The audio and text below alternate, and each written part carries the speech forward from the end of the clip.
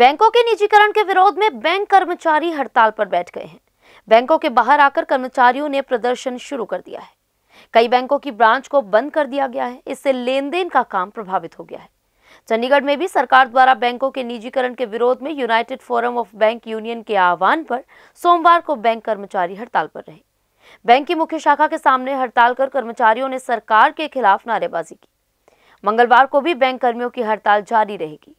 United forum of bank union के आह्वान पर दो दिन की हड़ताल के बाद सोमवार को ज़िले के सभी सरकारी बैंक बंद रहे। बैंक के बाहर कर्मचारी एकत्रित हुए और यहाँ पर सरकार के खिलाफ जमकर नारेबाजी की।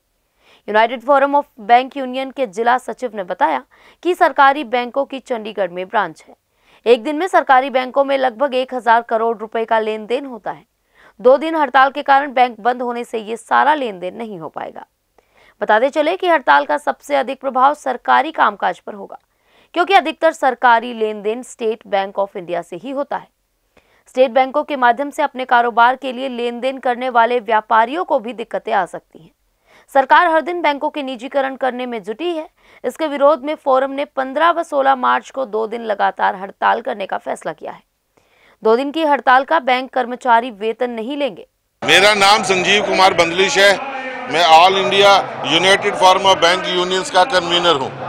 आज की ये दो दिन की जो हड़ताल पूरे देश में बैंक कर्मचारी और अधिकारियों द्वारा की जा रही है, इसका एक ही उद्देश्य है और एक ही डिमांड है कि सरकार ने बजट के अंदर जो पब्लिक सेक्टर बैंक्स को प्राइवेटाइज करने की बात की है, वो डिमांड वापस ली जाए। क्योंकि किसी, हमारा ये मानना है कि पब्लिक सेक्टर बैंक्स का प्राइवेटाइजेशन किसी भी तरीके से इस देश के और देश की जनता के हित में नहीं है। यूनाइटेड फॉरम बैंक यूनियंस की तरफ़ से ये हड़ताल का आह्वान किया गया है, जिसमें 10 लाख बैंक कर्मचारी और अधिकारी पूरे देश भर में आज हड़ताल पर हैं। हमारा आज का जो दो दिन के रोज के बाद हम सरकार के रिएक्शन की वेट कर रहे हैं। अगर कोई सरकार का रिएक्शन पॉजिटिव नहीं आता तो यूनाइटेड फार्मा बैंक यूनियंस के तहत नौ यूनियंस दोबारा से मिलकर बैठेगी और आगे की, जो आगे का रोष प्रकट करने का तरीका है, या आगे हमें क्या करना है, उसके बारे में निर्णय लेंगे।